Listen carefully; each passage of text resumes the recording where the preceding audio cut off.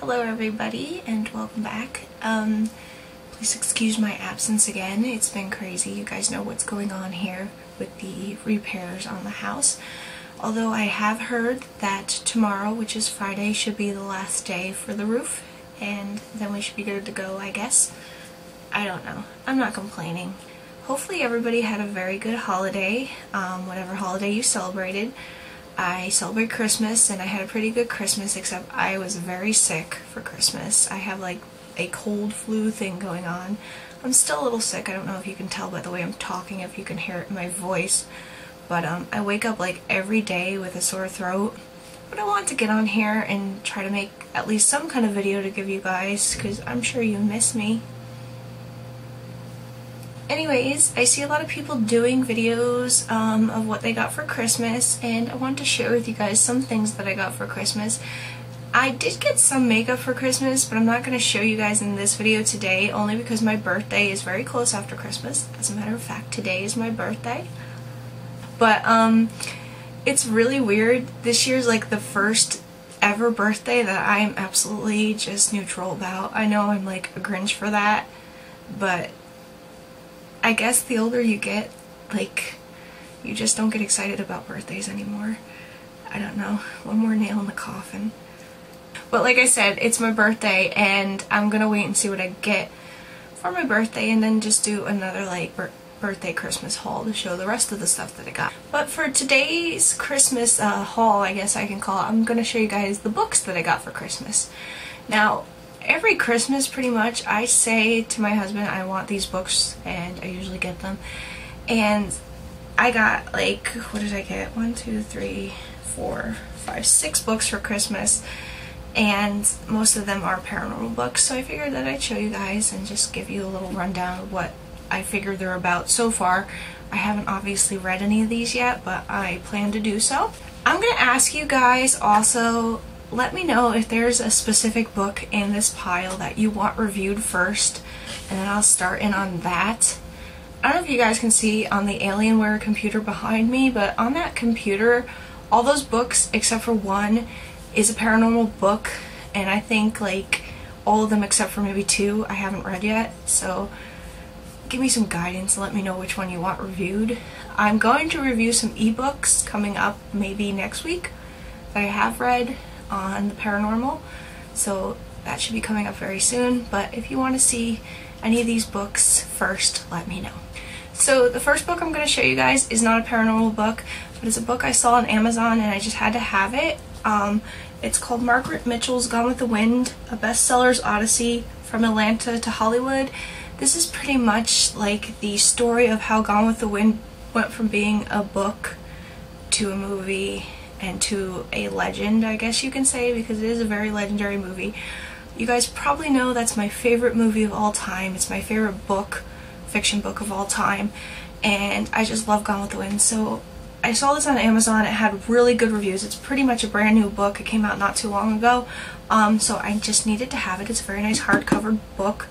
Um, I do have a electronic device to read books on now.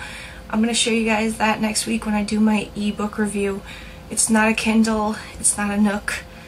I got something for my anniversary which was like totally awesome. Alright, I'll tell you, it's an iPad too. So, I can get ebooks now, but just some books I'm going to prefer to get in physical copies just so I can keep them forever and hoard them and keep them in my life.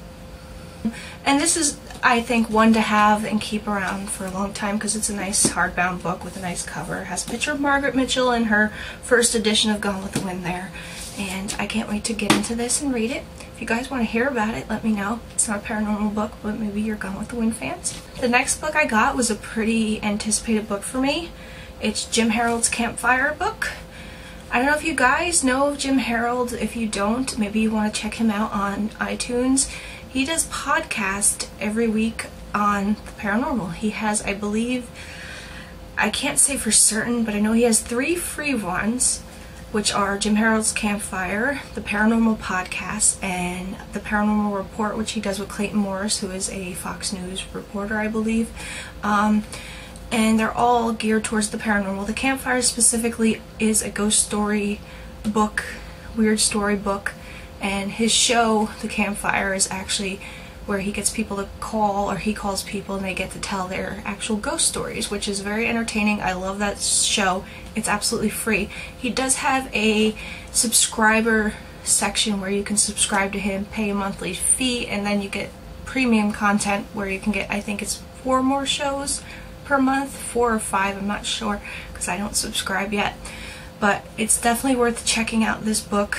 I read a couple stories in it and definitely check out his podcast because they're great. Especially the Campfire and the Paranormal podcast. I really enjoy them. The Paranormal podcast, he always has like really awesome, iconic people in the paranormal field. Speaking of iconic people in the paranormal field, one guest that he always has on his show is Mr. Brad Steiger, and of course he is my favorite paranormal author of all time.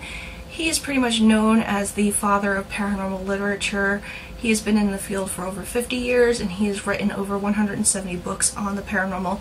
If you guys ever came to me and said, Emma, I want a book on such and such a paranormal subject, I would probably refer you to a Brad Steiger book because if you want a paranormal subject, he has written a book on it. I got two books by him this year for Christmas, and I think last year for Christmas I got three.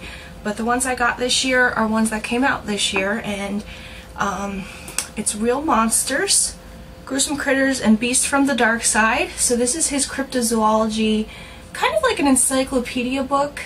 He does have a ghost book out like this, a vampire book out like this. I have the ghost book, I don't have the vampire book yet, and he has a zombie book out like this. I'm absolutely dying to get the zombie book out like this because it's more geared towards the voodoo aspect of zombieism, I guess you can call it, so it's really exciting for me to read these books. I have the ghost book though.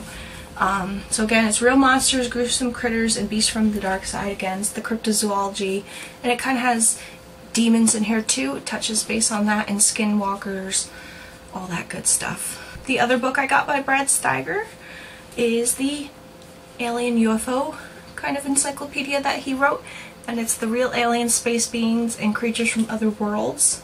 And again, this is just about aliens, UFOs, space beings, abduction cases, um, you know, my daddy's a space alien cases, so to speak. I've skimmed through this and it's a pretty good book so far.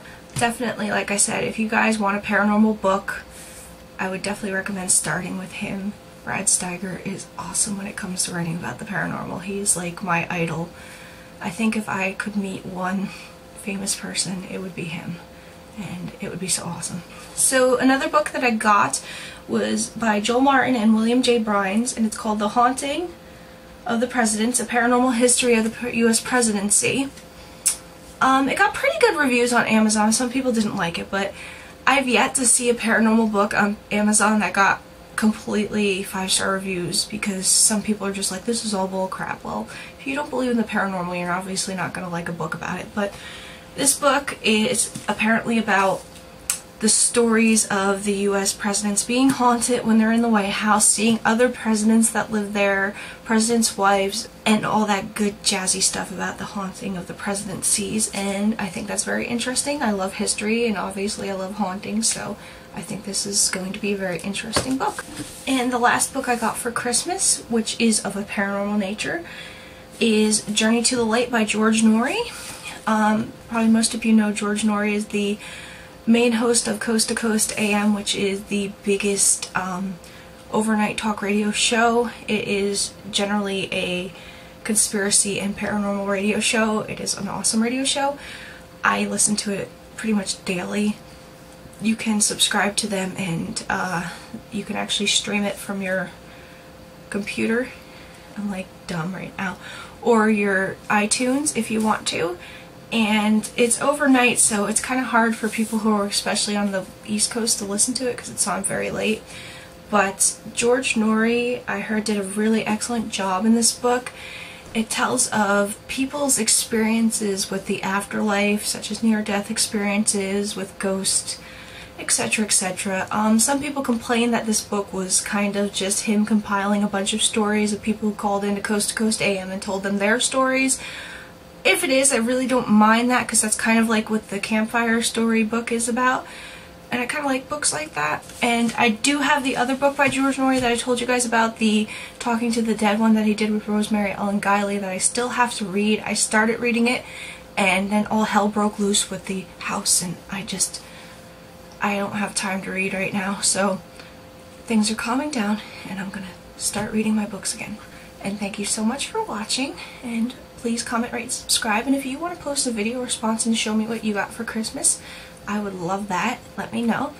And again, I hope you guys had a very Merry Christmas and a Happy Holiday no matter what you celebrated. Thanks again, guys. Bye.